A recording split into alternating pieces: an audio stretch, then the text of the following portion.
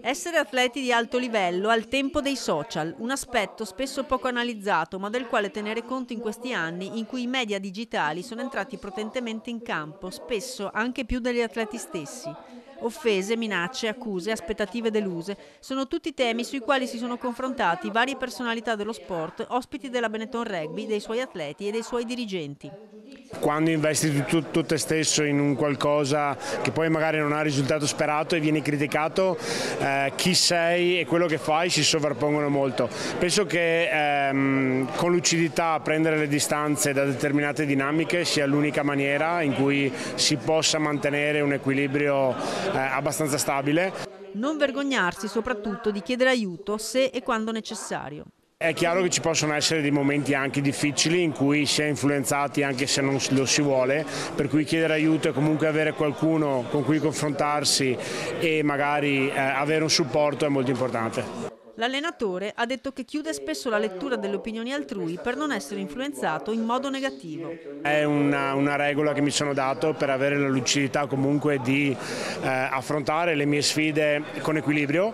Eh, magari esistono anche altri modi, ma è, sono abbastanza integralista su questo, sì.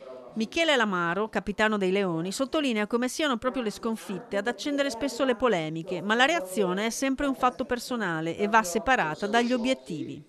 Quello che si può fare è sicuramente essere consapevoli che queste critiche prima o poi arriveranno e, e, e prepararsi in merito e il più possibile cercare di separarle da quelli che sono poi gli effettivi obiettivi di ciascuno.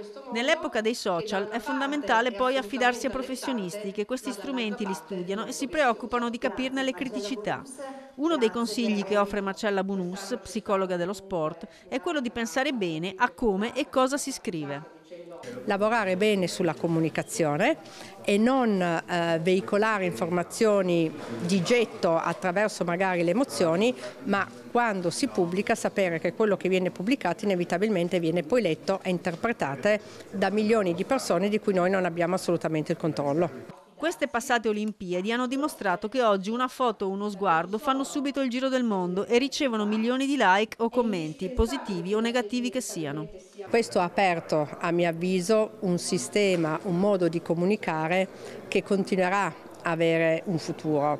Bisogna riuscire, come tutti i cambiamenti, a trovare la giusta distanza tra l'utilizzo e riuscire invece a staccarsi magari nei momenti importanti delle competizioni